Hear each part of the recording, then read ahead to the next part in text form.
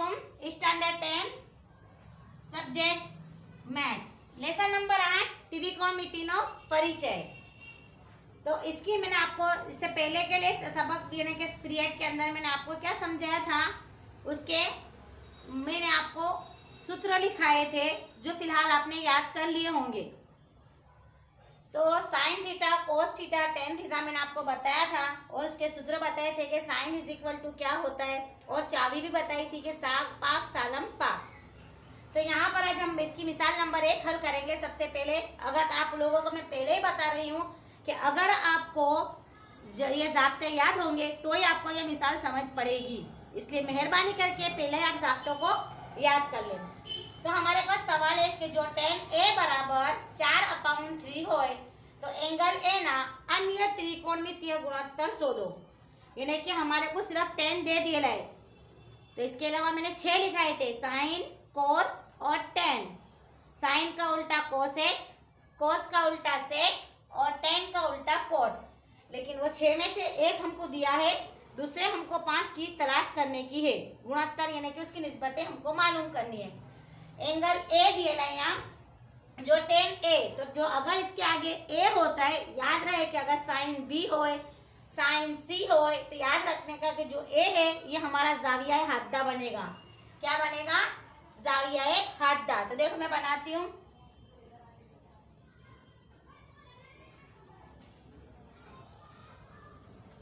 चलो, जाविया हाददा मेरे को ऑलरेडी टेन ए दिए है, इसलिए मेरा जाविया हाददा यहाँ बनेगा ए इसलिए बी जो मेरा होगा वो क्या होगा जाविया कायमा होगा, और ये होगा मेरा सी अब सबसे पहले ये भी मैंने आपको बताया था कि सबा क्या है पबा क्या है और कण क्या है। मुकाबिल जिला मोतसिल जिला और वितर। तो ऑलरेडी सबसे पहले हमारे को क्या दे दिया गया है यहाँ पर? टेन ए क्या दिया है? Tan A is equal to कितना दिया है? चार अपाउंड थ्री अब चार अपाउंड थ्री तो टेन का बराबर क्या होता है? टेन इज़ इक्वल टू क्या होता है? आपको पता है? बोलो। जाप्ता याद है? साफ़ पाक सालम पाक यानी कि टेन इज़ इक्वल टू क्या होता है? सब के छेद में पबा होता है। अब यहाँ पर सबसे पहले आपको यही समझना है कि सबा क्या है पबा क्या है।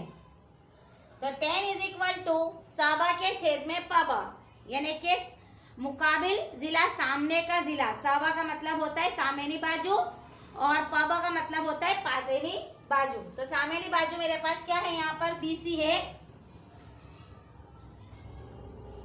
और पाबा क्या है मेरे पास? ए भी है देखो, ये आएगा मेरा साबा और ये मेरा आएगा पाबा ये समझाने के लिए मैं आपको लिख रही हूँ। और ये मेरा होता है कण। तो टेन इज़ इक्वल टू मेरा क्या होता है? सबा के छेद में पाबा यानी कि बीसी अपाउंड ए बी तो यानी कि बीसी का माप मेरे पास कितना है? फोर के हम के धार लेंगे। और ए बी का माप कितना है मेरे पास यहाँ पर? तीन के। चलो ए बी भी मिल गया हमको और बी सी भी मिल गया। लेकिन हमारे पास ए सी है। ए सी नहीं है। इसलिए हम किसका इस्तेमाल करेंगे? किसका इस्तेमाल करेंगे? नेहू का साविया है तो? फेसागोरस का मसला।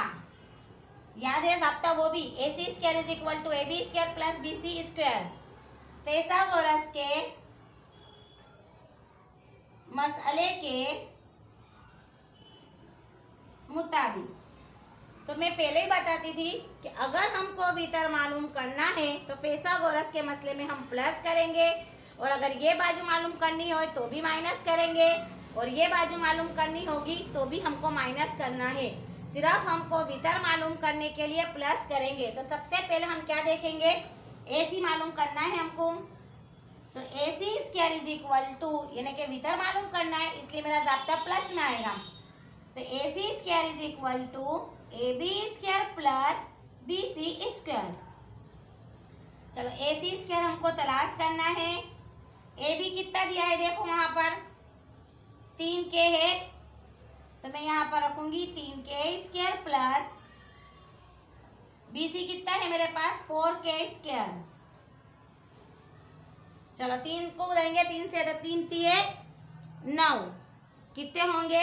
A C square is equal to तीन तिये नौ के स्क्वायर प्लस चार चौक सोलह के स्क्र तो नौ और सोलह की हम प्लस करेंगे तो कितना आएगा मेरे पास? A C square is equal to twenty five के स्क्र तो जब ट्वेंटी फाइव का जजरल क्या आएगा?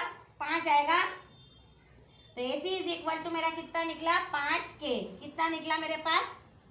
फाइव के हो गया ये मैंने? मसले से मुताबिक मैंने पाइथा का फेसागोरस का मसले का इस्तेमाल किया और मैंने वितर को मालूम किया। अब टेन हमारे पास है। अब सबसे पहले हम किसको तलाश करेंगे? साइन को तलाश करेंगे ने? तो यहाँ से मैं लिखूँगी साइन ए चलो बोलो साइन बराबर क्या होता है? सबा के छेद में? कण होता है कि नहीं? साक, पाक, सालम, पाक। तो साक आएगा तो सबा के छेद में पर। तो देखेंगे हमारा सबा क्या है? यहाँ पर बीसी है। तो बीसी अपाउंड क्या आएगा? कण क्या है मेरे पास? एसी तो देखो बीसी कितना है मेरे पास? फोर के है। और एसी कितना है मेरे पास? पाँच तो ये के और ये के उड़ जाएगा तो मेरे पास क्या बचेगा? चार बटे पाँच। क्या निकला मेरा? चार बटे पाँच निकला। अब उसके बाद मेरे पास क्या है? साइन के बाद कोस। तो कोस बराबर क्या होता है मेरे को? कोस ए बराबर क्या होगा? पाबा के छेद में कण। क्या होता है? पाबा के छेद में कण। तो पाबा क्या है मेरे पास? ए बी और कण मेरे पास क्या है? ए सी तो A B is equal to कितना है मेरे पास? तीन के और ए सी कितना है मेरे पास? पाँच के चलो ये के ये के गया, बचा क्या मेरे पास? थ्री अपाउंड पाँच. कोस के बाद मेरे पास क्या है? टेन तो ऑलरेडी टेन हमारे को दे दिया गया है सवाल में ही. तो हम टेन को निकालेंगे नहीं, क्योंकि वही जवाब आएगा, हमारा चार बटे तीन चलो, साइन हो गया कोस हो गया। अब नहीं समझ पड़े तो इसके सामने लिख देने का। तो साइन का उल्टा क्या होता है मेरे पास? कोस एक होता है।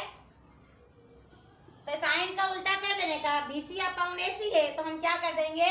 ए सी अपाउंड बी सी और पाँच के के छेद में हम क्या कर देंगे? चार के तो ये के और ये के गया तो पाँच अपाउंड चार। हो गया? चलो कोस का उल्टा क्या होता है? सेक होता है। तो sec is equal to A B upon A C है तो उसका उल्टा कर देंगे हम। तो ए सी अपाउंड क्या आ जाएगा? ए बी तीन अपाउंड पाँच है तो हम क्या कर देंगे? पाँच के अपाउंड तीन के, ये के और ये के गया तो पाँच अपाउंड थ्री बचा क्या मेरे पास? टेन तो टेन ऑलरेडी था तो टेन का उल्टा क्या होता है? कोट होता है। तो cot A is equal to यहाँ पर उल्टा, उल्टा कर देंगे बी सी अपाउंड ए बी है। तो ए बी अपाउंड हम क्या कर लेंगे? बी सी चार अपाउंड तीन है तो क्या कर देंगे? तीन के अपाउंड चार के ये के और ये के गया बच्चा मेरे पास तीन अपाउंड चार। तो ये हमारी मिसाल हल हो गई। बहुत इजी मिसाल हल है। सिर्फ़ क्या करना है आप लोगों को? जाब्ता याद करना है। देखो वापस मैं समझाती हूँ आपको। कि हमको क्या दिया है? अगर टेन ए अगर इसकी जगह पर मान लो, फ़र्ज़ करो कि मेरे को टेन बी दिएला होता है यहाँ पर तो मेरी तस्वीर में एक ही जगह पर क्या होता? जाविया हद्दा बी होता। अगर मेरे को टेन सी दिएला होता तो मेरा जाविया हद्दा क्या होता? यहाँ पर सी होता। इसलिए हमको पहले ही सवाल में देखना है कि हमारा जाविया हद्दा कौन सा है? और इसके अंदर जितनी भी तस्वीरें बनेगी, वो तमाम के तमाम जाविया कायमा की ही बनेगी।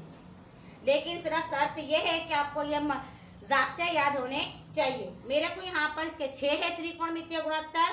तो मैंने उसके अंदर से एक आपको दे दिया है, इसलिए मैंने पाँच आपके सामने निकाले। तो सबसे पहले मैंने जाविया हद्दा बना लिया, उसके सामने बी कायमा रखा और सी। टेन ए मेरे को ऑलरेडी दे दिया गया है, चार अपाउंड थ्री अब यहाँ पर भी हमको ये पता चलना चाहिए कि टेन ए बराबर चार बटे तीन है।